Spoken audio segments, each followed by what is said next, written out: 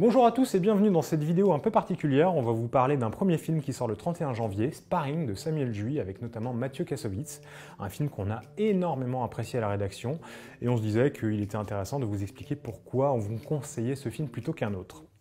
Excusez-moi Paraît que vous cherchez des sparring pour euh, Tarek Mbarek Très bien, très bien, ça c'est bon. Alors Sparring, euh, c'est une histoire euh, d'un homme, Steve Landry, un boxeur un peu sur le retour, qui a jamais eu la carrière qu'il méritait, et qui se retrouve euh, sparring partner d'un champion qui va remonter sur le ring pour un championnat d'Europe. Euh, Sparring partner, c'est quoi? Bah, C'est un sac de frappe humain. En gros, il est là uniquement pour prendre les coups de son adversaire à l'entraînement. C'est pas très valorisant, mais c'est plutôt bien payé, et ça tombe très bien pour euh, notre héros.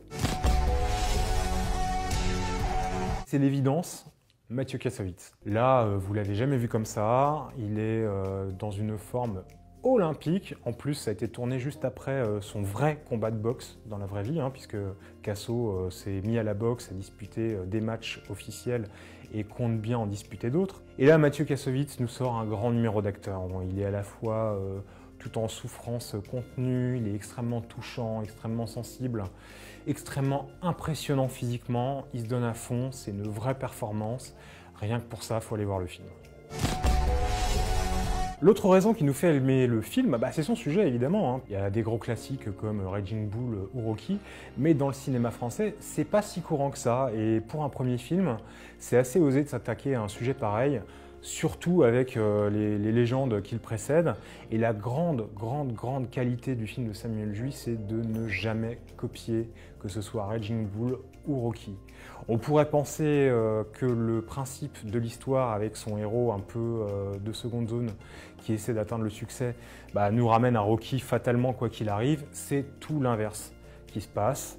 À chaque fois qu'on arrive sur une thématique ou sur une scène, on peut dire ah tiens là on va vers Rocky. Samuel Jou nous prend totalement à rebrousse-poil, on va dans la direction opposée. C'est une vraie histoire qu'on rapprocherait plus de The Wrestler d'ailleurs de Darren Aronofsky. La dernière raison qui nous pousse à aimer ce film et à vous en parler, c'est euh, le fait que euh, bah, c'est un excellent film, hein, maîtrisé du début à la fin. Samuel Juy maîtrise totalement son sujet sur le fond comme dans la forme.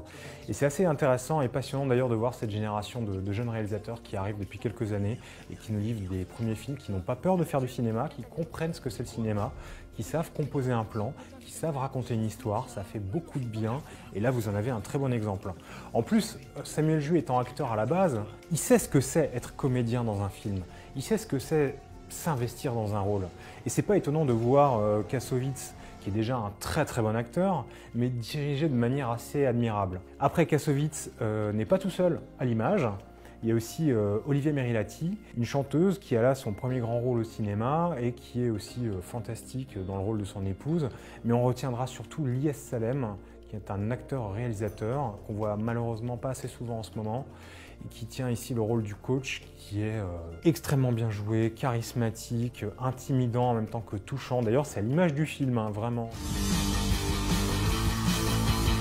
Si on devait résumer euh, en quelques mots, bah, on pourrait dire qu'il est euh, touchant, sensible, mélancolique, intelligent, profondément humain, extrêmement maîtrisé euh, sur le fond, sur la forme. C'est une très belle histoire sur le, le rêve brisé, la reconstruction, sur notre société française aussi. On s'ennuie pas une seconde. Bref, vous l'aurez compris, Sparring, c'est un indispensable de ce début d'année. Il faut aller le voir dès que ça sort. Il faut encourager ce cinéma. Sparring, c'est super. Allez-y, les yeux fermés.